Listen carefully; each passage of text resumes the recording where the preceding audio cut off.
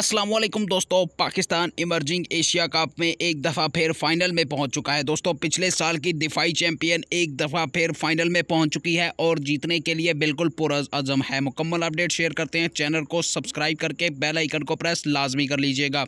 तो दोस्तों मोहम्मद हारिस की कप्तानी में एक दफ़ा फिर पाकिस्तान इमर्जिंग एशिया कप के फाइनल में पहुँच चुका है, जिसमें आज कप्तानी इनिंग भी देखने को मिली मोहम्मद हारिस की जानब से। लेकिन मैच विनिंग जो लीडिंग रोल अपनाया है, वो है अरशद इकबाल का, जिन्होंने आज पाँच विकेट्स हासिल की हैं और अपने कैरियर की पहली पाँच विकेट हासिल कर ली हैं। मेडन फाइव विकेट्स हॉल आज उन्होंने हासिल की और मैन ऑफ़ द मैच का अवार्ड भी अपने नाम किया। दोस्तों, शानदार बॉलिंग देखने को मिली और पाकिस्तान को मैच जितवाने में सबसे अहम करदार भी अदा किया। तो दोस्तों, अरशद इकबाल को पाकिस्तानी टीम में वापस आना चाहिए या नहीं, कमेंट सेक्शन में आपने ज़रूर बताना है और चैनल को सब्सक्राइब करना ना भूलिए। मिलते हैं अगली वीडियो में।